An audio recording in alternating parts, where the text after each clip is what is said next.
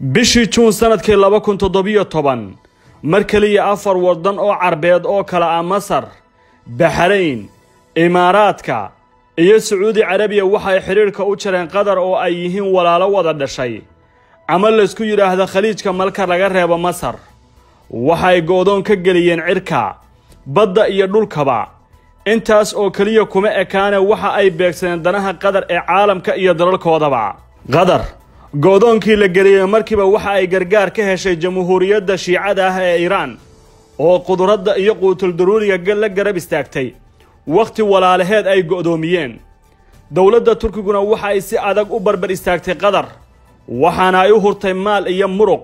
Saldhig militari oo deg deg ah ayuu urdugan ka samaystay dooxa waxaana uu daabulay cutubyo ciidamadiisa ah.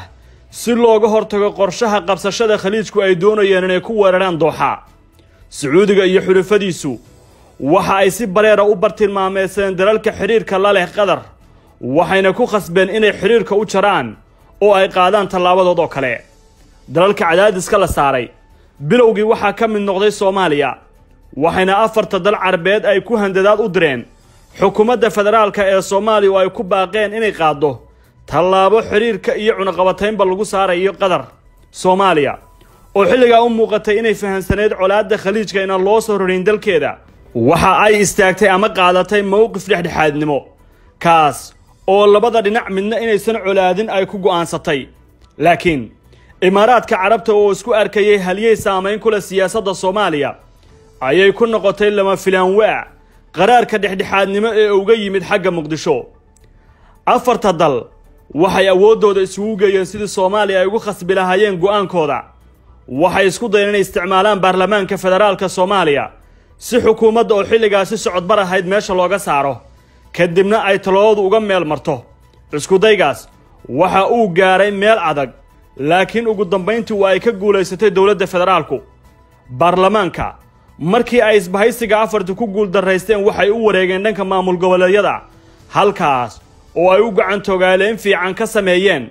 Waxaa la asaasay golihii iskaashiga dowlad goboleedyada wakhtigii xasaradda khaliijku maraysay halkii ugu sarraysay kaas oo dhismaha golahan ahayd maskaxdii ka dambaysay siyaasad ka timid imaaraadka carabta si culays loogu saaro fiila soomaaliya ka laabashada go'aankeeda. Golaha oo hormuud ay u hayd hooyada federaalka ee puntland waxaa loo isticmaalay aalad lagula dagaalamo xukuumadda federaalka ee curdanka ahayd. Imaaraadkuna oo qaabilsanaa fulinta qorshaha carbeedna waxa uu martiqaad iyo sooryo bilaah u fidin jiray madaxda dowlad goboleedyada ee xilligaas iyo siyaasiyiinta dibadjoogga ah ilaa madaxweynihii hore ee galmudug uu bixiyey halhayskii caanka baxay ee qaraabasho tegidda.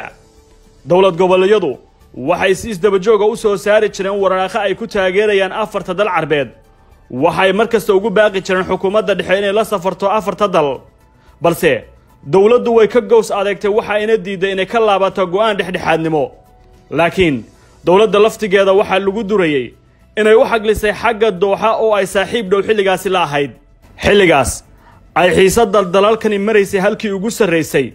Qolo kastaana ay adeegsanaysay tab kasta oo xidhiirka loogu jari karo qatar waxa ay dowladda sacuudigu soomaaliya u sheegtay inay siinayso siddeetan milyuun oo dollar.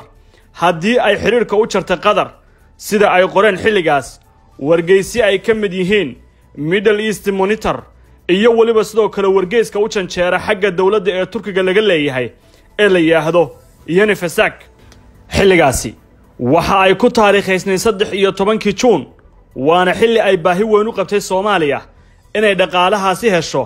Laakiin sida warbixinta lagu sheegay soomaaliya wa ay diiday qaadashada dhaqaalahaas taas oo ilaa hadda dowladda federaalka ee soomaaliya aysan faahfaahin ka bixin. Dubai waxay noqotay xarunta laga xukumo maamul goboleedyada soomaaliya oo si joogta ah ay ugu xarman jireen baaqyada iyo hadallada ay soo saareen wakhtigaasna waxaa aad loo xasuustaa hadalhaylkii madaxweyne cabdiweligaas ee ahaa muqdisho ma aha soomaaliya muqdishona ma aha soomaaliya oo keliya Somalia is not Mogadishu, and Mogadishu is not Somalia. Federalism ensures that a national government does not have dictatorial powers and that the nation's political future imaaraadka ayaa si adag ula dagaalamay soomaaliya. Waxa uu xarumo sirdoon ka furtay gudaha dowlad goboleedyada. Waxa uu dejiyey khidad iyo qorsho cusub oo ah inay fuliyaan qaybo badan oo ka mid a warbaahinta. Waxaana dhammaan arrimahaas ay ahaayeen kuwo ka dhexeeya waddamada khaliijka oo la doonaya in dagaalka baraha bulshada ee carabta ku haysay hoggaanka soomaalida ee wakhtigaas oo imaaraadku ay kordhiyeen. Imaaraadku waxa uu joojiyey xilligaasi kadib taageeradii uu siin jiray xukuumadda dhexe ee gacanta ay ku haysay ciidamada amniga. Waxa uu xidhay xerada jenaraal jordan waxaana albaabada loo laabay cisbitaallo ay maamuli jireen. Xidhiirka labada dalna waxa uu noqday mid mugdi weyn u hareeyey. Imaaraadku waxa ay muddo heshiis aan la aqoon la gelayeen dowlad goboleedyada waxaana ka mid ahaa ka muranka badan dhaliya ee dekadda boosaaso ee d b wall iyo kan berbera oo aan la aqoon qodobadiisa iyo danta laga lahaa toona soomaaliya. Waxay mowqifkeeda dhexdhexaadnimo uun uga dhigtay khaliijka dhexdiisa. Laakiin waxay si cad u taageertay qadiyadda carameed oo hormuud ka ahayd sacuudigu oo ay ka mid tahay dagaalka yeman xiisaddii iiraan iyo sacuudiga iyo khilaafkii kanada iyo sacuudiga ka dhex dhashay. Qaraaradaas oo loo arkaya kuwa soomaalidu ay dan u muujinaysay dhammaan arrimaha ku saabsan khaliijka ee ka imaanaya xagga dibadda. Dhibaatooyinka la marsiiyey soomaaliya ayaa looga dan lahaa in colaad loogu abuuro dalka yar ee qatar ishayntii khaliijka ee ku dhisnayd danaha maraykanka ayaa dhammaatay kadib dhexdhexaadintii kuweyt dhinacyaduna waxa ay muujiyeen hadda inay dib u soo coshadeen walaalnimadoodii. Xalay saqdhexe ayuuna heshiisku dhaqan galay oo carabtii khaliijku isku furantay.